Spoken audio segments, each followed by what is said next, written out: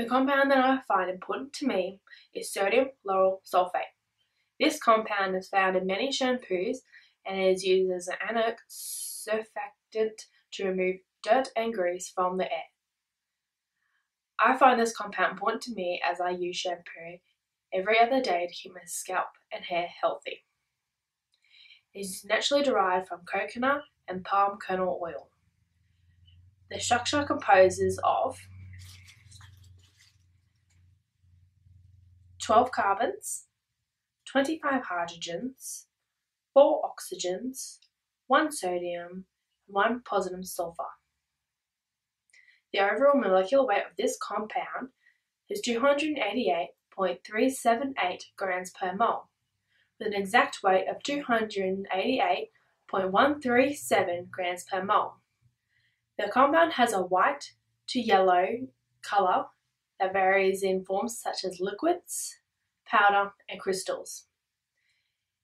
It is an average boiling point of 205 degrees Celsius.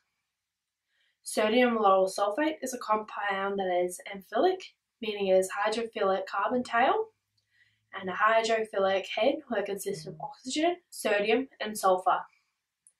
When in association with other molecules, the sulfate acts as a wetting agent and reduces the surface tension of the aqueous solution. This will then allow for the mixing of liquids and other compounds in the shampoo, that allowing the water to spread across the surface area.